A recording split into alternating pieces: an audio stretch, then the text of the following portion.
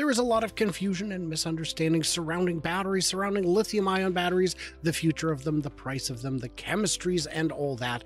Uh, where are they today? What is the cost curve actually doing? Are they still getting better? How much room is there left to go? These are all big, big questions, and I have small, small answers, so I figured I would bring on an expert. I got Jordan Giesige from The Limiting Factor. If you think you know batteries and you're not aware of Jordan Giesige's work, you don't know nothing yet. Uh, I'm Brian. Welcome to FutureAzA. Jordan, long time no chat. How have you been? Been pr- uh, doing pretty good. Excited about the new year and all the things that uh, I hope come this year. It's yeah. yeah, this is uh, there's a few things on the roadmap, um, and uh, they all require batteries. You know, I well, you know, AI doesn't require batteries. It does. It does because you got to smooth the power coming in from the grid uh, to keep your operations running with absolute perfection in terms of uh, the of the voltage. So let's start with last summer. You handed me a 4680 and said, "Hey man, could you do me a favor? Could you drive this a few thousand miles to San Diego?" And I said, "Absolutely, I would be honored." And I did so. Uh, Shirley Meng and her team tore into it. What were the results? What did we find that was that makes the 4680 special? Well, what we found is even though it doesn't have silicon in it yet, it's on par with uh, the best uh, high energy density battery cells, mass volume high energy density battery cells on the market today. So that it's um, Tesla is delivering. Uh, we just now it's just a matter of scaling it up and making. Hopefully, we see in the next quarterly earnings call that they confirm that they now are able to do the dry coating on both the cathode and, and anode at scale, that they're starting to ramp that. Because the battery cell that I tested, it was still dry coated on the anode and wet coated on the uh, cathode. So that's that's the last hurdle from my perspective. If they can crack that, it's going they're going to be riding down the cost curve really fast. And you know, the there's a lot of people who say, well, why can't why can't they just ramp faster? Why can't all these companies just build more factories? This problem is not exclusive to Tesla. We see other companies, CATL, BYD, Panasonic, when they announce a new factory, it is years until it's complete. Is that because the voltage precision means that the entire process needs to be more precise? Because if I wanted, if I'm a little Chinese company and I want to spin up a factory making lead, you know, lead acid or or uh, alkaline batteries, I imagine you could do that much more quickly. Yes, the I don't know much. I don't really know anything about lead acid batteries or like alkaline batteries, things like that. But at least for lithium ion batteries, there's an extraordinary degree of precision and durability that's required out of those battery cells. The layers that we're talking about here are like the width of a human hair or um, in the particles of the, like the size of a red blood cell. So even if your machinery is just slightly off, everything's a mess. And like when you're talking about something the thickness of a human hair, you can't have um, more variability than just a few percent. Otherwise, at the cell level, you get cells with variability of a few percent, and you can't match those cells in a vehicle. They have to be perfectly matched when they go in. You can find videos on YouTube of alkaline battery factories, and they look primitive. They look simple. They look like you could build one in your own neighborhood for a million or two. Uh, whereas if you've seen these battery factories, they look like a clean room. And I think they are mm. clean rooms. They are extremely precise. And of course, if you're when you're draining that kind of voltage at that kind of pace, you need precision. So you've seen what the 4680 was six months ago. You've seen what it was two years ago, two years probably now. Do you think, uh, apart from the cathode being dry potentially now, do you see any other changes that may have already taken place that we're not aware of? You mean uh, so? There's the the first cell that I tore down, and then the second t- cell that I so- tore down, and I, I reported all the the differences there. Like one of those differences was the you know the can. thickness of the the thickness of the cell can and how it's all constructed and welded together. And I did get a little tip that came out after that video that uh, it wasn't worth making a whole video on, but they've significantly reduced the resistance in that battery cell as well. Mm. So it should generate less heat and have better charge discharge capabilities. So that's a little snippet for you that nobody else knows yet. Heard it here 1st mm-hmm. uh, so we've seen prices plummeting on lithium batteries around the around the world, really. And one of the reports said that it might be because uh, there is an oversupply of LFP and other lithium-ion batteries in China, which could artificially drive the price down.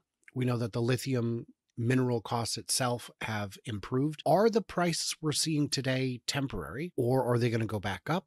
Or are they still falling? Do we have any idea on that at this time? I don't know the intricacies of the market, but what I do know is the way that the lithium ion battery market and most markets move in general over time is uh, it kind of moves in waves, uh, especially as the technology is developing.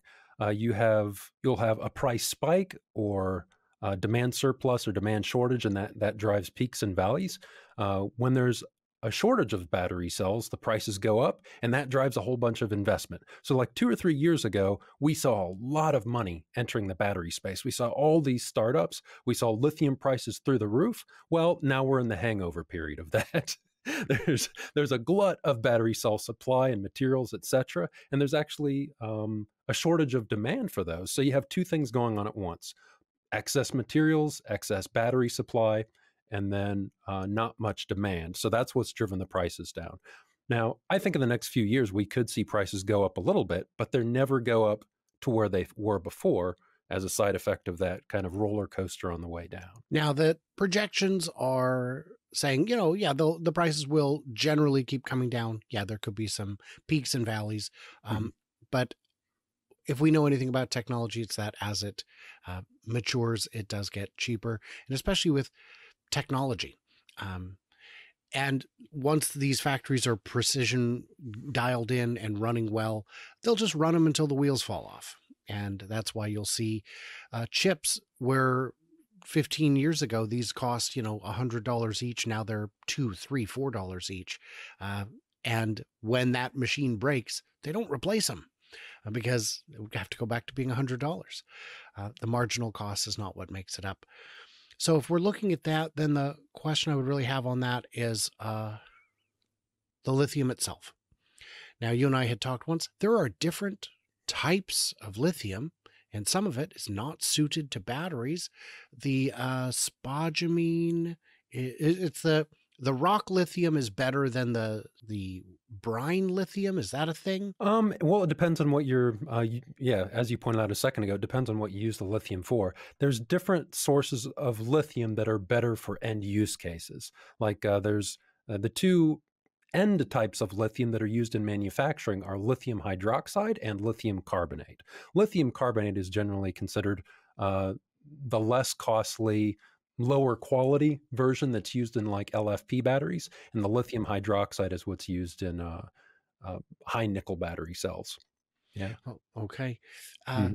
So that can, so it could be that. So I mean, it's not like you can't use them. It's just uh, uh, light sweet crude versus tar sand. Yeah, that's a good way to put it. And you can convert between lithium hydroxide and lithium carbonate and just add some extra cost. And that's what a lot of these companies will do. They'll take a uh, low quality lithium from low quality sources, create lithium carbonate, and then refine it again and turn it into like lithium hydroxide. Okay. And mm-hmm. that's interesting. Um, have you been following Corpus Christi at all? Loosely. Uh, That's as I, close as I think anyone can follow it. yeah, exactly. But it's it's getting close because I think they just ran their first batch of uh, lithium through the kiln through Is the first correct? kiln. Yes, the yeah. first step of the very many steps uh, has been tested. And it's also the simplest step. It is just a rotating kiln kind of kind of thing. Um, how important do you think that's going to be in the future? This was announced at a time when lithium prices were sky high. Uh, it looks like they are moving forward with the with the plant at a normal pace. Um, mm-hmm. I looked at the timeline of other lithium refineries around the world and saw that this is about what you would expect in terms of a timeline. It doesn't appear to be expedited like so many of Tesla's projects are. The um, Gigafactory Shanghai was clearly expedited because it is a money printing machine. Get the printers rolling. Um, will a U.S. lithium refinery stand a chance of being cost competitive uh, against ones in lower labor countries. Yes. Um, my understanding is Tesla's plant uses a more efficient process that creates less uh, less environmental waste, it's overall a more environmentally and more efficient process. And then you don't have to ship that lithium all over the world. And sometimes, as we said a moment ago, refine it more than once to get to the end uh, the end product that you need. And my understanding is it's going to be more flexible in terms of all the different types of material inputs that it can take. So uh, there should be quite a few efficiencies built in there. However, I don't think that's the main reason they're doing it. For me, it's strategically critical that we have a supply chain separate from China. A lot of the materials that China refines are just from like Australia, South America, etc. It goes there, then it comes to the US. They have a they have the full midstream on lockdown. So some of that midstream manufacturing and process needs to happen here uh, for supply chain stability. And so, and also because China tends to use its advantages as leverage in the market. And if they have leverage over you, they're going to use it eventually. So mm-hmm. Tesla doesn't want China to have that leverage over them. They won't say that because they have to be nicey nice, but that's my perspective. Yeah. Uh, and I don't think China's alone in that. I think the mm. US and other countries have done that as well. And it shouldn't come as a surprise to anyone. Well, they've been nice to me so far. Uh, that that bill's coming due. Don't you worry. Uh, I would agree with all of that. Um, and it shortens the supply chain, which is good. Uh, having production as close to where the product is going to be as possible reduces emissions, reduces costs, reduces time. Um, but yes, having your own supply chain, we discovered during the pandemic when when goods were not moving out of certain countries at certain times, just how uh, tightly dependent we are on other countries who could absolutely pull the rug on us at any time possible. So, guys, we're going to have a part two of this coming up uh, probably tomorrow uh, because I like to keep these short. I like to keep them bite sized so that you guys uh, have time to, pay, you know, uh, digest the whole thing. Uh, and in the comments, you can ask us additional questions. Uh, Jordan won't be around for those because we will have already shot, but if they're good enough, we will get them on and answered. Uh, everybody else, like, subscribe, do what you do. Head over to The Limiting Factor uh, and uh, stay tuned, stay juicy like a battery. And I cannot wait to hear from you, clever robots, tomorrow when Jordan joins us again.